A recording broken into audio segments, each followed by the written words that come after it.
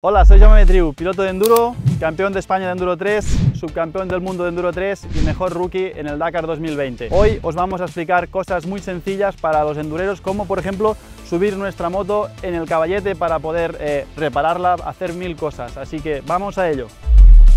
Bueno, personalmente yo para subir la moto en nuestro caballete intentaría aparcar la moto en diagonal, no en paralelo como lo he hecho ahora, porque nos queda siempre muy lejos el caballete y tenemos que hacer pues muchísima más fuerza, muchísimos más pasos para nuestro lado para poder subir la moto al caballete.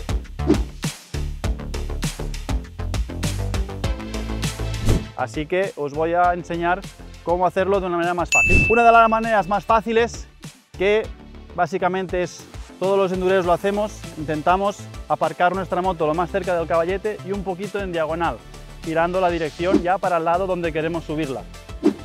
Cogemos la moto o por los radios o por nuestra llanta, yo personalmente siempre la cojo por los radios y por el culín y luego solo con un golpe de cintura ya tenemos la moto al caballete.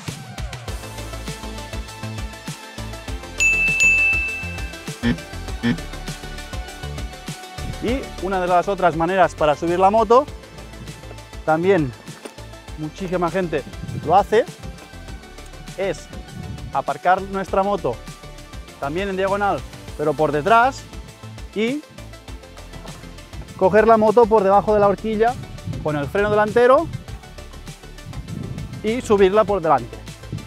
Así que aquí tenéis dos maneras fáciles de subir nuestra moto al caballete. Ya veis que es muy sencillo subir la moto a nuestro caballete, así que si queréis eh, aprender más trucos sobre el mundo del enduro, suscribiros al canal de Motocar y nos vemos a la próxima.